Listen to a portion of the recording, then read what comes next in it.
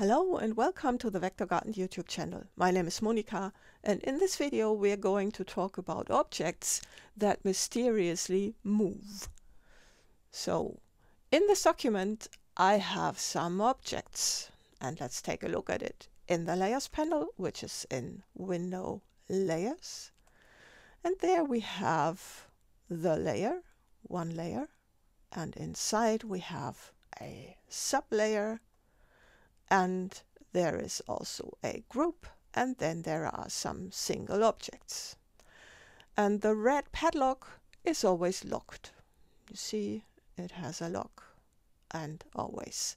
And then there's a gray object which is hidden. So what we would expect is when we just select using a selection rectangle that illustrator will only select what is visible and what is unlocked. But obviously that's not the case at all. Illustrator selected the ellipse, which is correct, and this ellipse, which is also correct, but it selected the complete group. And let's copy this and then let's create a new file and just paste. And we get a lot of that pasted so an invisible and a locked object as well. Also when we select using different methods we get some selections that are unexpected. So let's just click in here in the selection column in the layers panel just click and you see Illustrator selects all of this.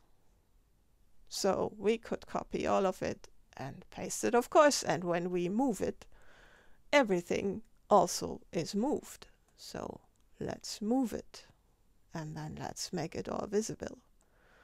And you see, Illustrator has moved everything, so let's undo that.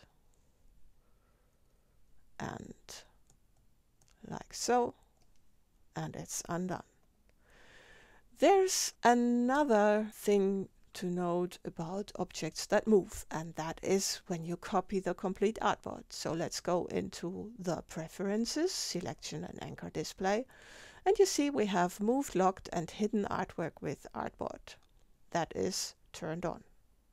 So when we take the artboard tool, turn on this button and then make a copy then you see we copy everything. Let's undo that. And let's go to undo, like so. And let's go to the preferences again, into selection and anchor display. Let's untick that. And then let's just, because we're curious, try the selection again and you see everything gets selected. And also, when I drag this, there's no difference to what I tried earlier. But when we go to the artboard tool and turn this button on and then make the copy, then you see Illustrator warns that there are hidden or locked objects will not be moved. But again, we see something still gets moved. So it's quite not reliable. It somewhat depends on how your objects are organized exactly. So be careful when locking and when then moving. It might still be moved. If you liked the video, please give me a thumbs up and subscribe to my channel. See you next time.